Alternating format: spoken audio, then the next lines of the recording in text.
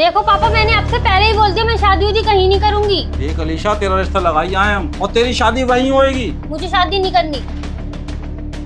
अलीशा पापा मुझे ये शादी नहीं करनी। मैं ये घर छोड़ के हमेशा के लिए जा रही हूँ। पापा अरे क्या हुआ बेटा? ये देखो अलीशा घर छोड़ के भाग गई। सुनिए मेरी कुछ मदद कर दीजिए। मदद? कैसी मदद?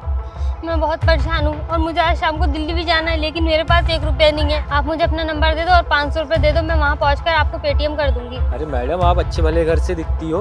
आपके पास पाँच सौ रुपये नहीं है जो आप मुझसे मांग रही हो। अरे पापा वो रही अलीशा। मैडम आप ये कैसी बातें कर रही हो? अरे अलीशा तू यहाँ क्या कर रही है? चल घर चल। अरे अंकल आप? अरे जा सकता हूँ। अरे अंकल यही है आपकी बेटी अलीशा। हाँ बेटा यही है लड़की। अरे, ये तुम्हारे साथ घूम रही है। मैं तो समझा घर से भाग गई है। अरे अंकल, ये मेरे साथ घूमने नहीं आई है, बल्कि ये तो मुझसे पाँच सौ उधार मांग रही थी।